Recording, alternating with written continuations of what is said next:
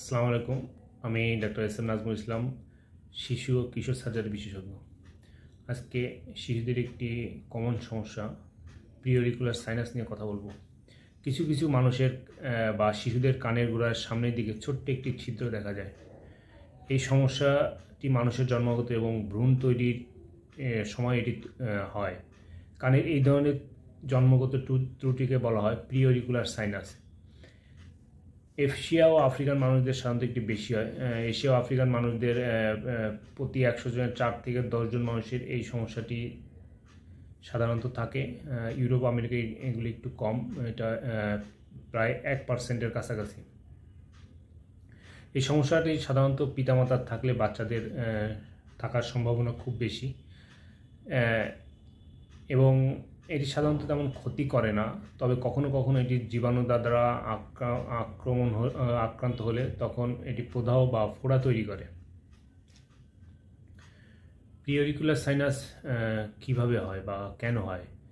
মানব ভ্রূণের pharyngeal arts নামক একটি কাঠামো থেকে কানের ভিতরের বিভিন্ন অংশ, কানের বাইরের অংশ এবং ঘাড় এবং মুখের কিছু অংশ, কিছু কিছু অংশ তৈরি হয়।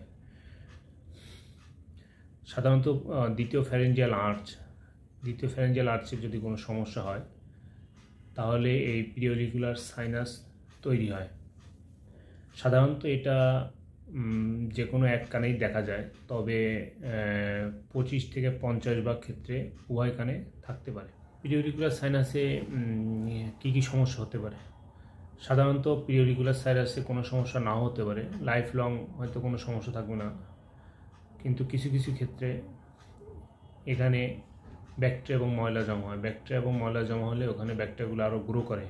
ফলে ওই জায়গাটা ব্যাকটেরিয়া দিয়ে পরিপূর্ণ হয়ে ওখানে ইনফেকশন হয়। এর কারণ হলো পিরিকুলার সাইরাস এর কোনো প্রতিরক্ষামূলক টিস্যু থাকে না, যাতে ময়লা এবং ব্যাকটেরিয়া এতে সহজে জমতে পারে। এখন পিরিকুলার সাইনাস যদি ইনফেকশন হয়, তো আমরা কি কি দেখে বুঝতে পারব? ওই কানটা মানে স্থানটি লালচে হয়ে যাবে, ফুলে যাবে, প্রচণ্ড ব্যথা হবে, এর ভিতর পুজ জমা হবে এবং জ্বর আসবে। যখন এটি ইনফেকশন হবে, তখন এটি ফোড়ার চিকিৎসা করতে হবে প্রাথমিকভাবে এবং অ্যান্টিবায়োটিক ও ব্যথার ওষুধ দিয়ে আগে চিকিৎসা করতে হবে। এরপরে পিরিয়ডিকুলার সাইনাসের চিকিৎসা।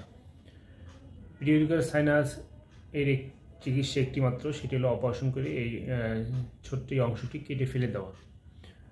যদি কোনো কারণে এটি ইনফেকশন হয় বা প্রদাহ তৈরি হয়, তখন আগে সেই ইনফেকশনের চিকিৎসা করতে হবে। যদি ফোড়া হয়, তো ফোড়ার চিকিৎসা করতে হবে, ওখান থেকে পুজ বের করতে হবে। বের করে এটা প্রপার অ্যান্টিবায়োটিক দিয়ে ট্রিট করতে হবে। যখন এই কন্ডিশন থেকে সে ভালো হয়ে আসবে, কোনো প্রদাহ থাকবে না ইনফেকশন থাকবে না, ফোড়া থাকবে না, তখন এটি অপারেশন করবে, করতে হবে। এবং এটি কিন্তু বারবার ইনফেকশন হতে থাকবে। অপারেশন যতদিন না পর্যন্ত করা হবে, এটি রিপিটেড ইনফেকশন হতে থাকবে। এবং এটার চিকিৎসা একটি মনে রাখতে হবে, সেটি হলো অপারেশন করে এই অংশটি ফেলে দেওয়া। কারণ এই একটি অংশটি এমনভাবে তৈরি যেটা একটি ব্লাইন্ড অংশ মানে একটি ফুটা আছে, পরের দিকে আর ফুটা নেই। ফলে ময়লাটি ওখানে জমে ওখানে ইনফেকশন তৈরি হবে এবং একবার ইনফেকশন হলে এটি বারবার ইনফেকশন হওয়ার চান্স থাকে। এই জন্য এটি অপারেশন করে কেটে ফেলতে হবে। সবাইকে ধৈর্য ধরে দেখার জন্য ধন্যবাদ যারা আমার এই চ্যানেল সাবস্ক্রাইব করেনি, তারা দ্রুত সাবস্ক্রাইব করে করেন। আমাদের সাথে থাকার জন্য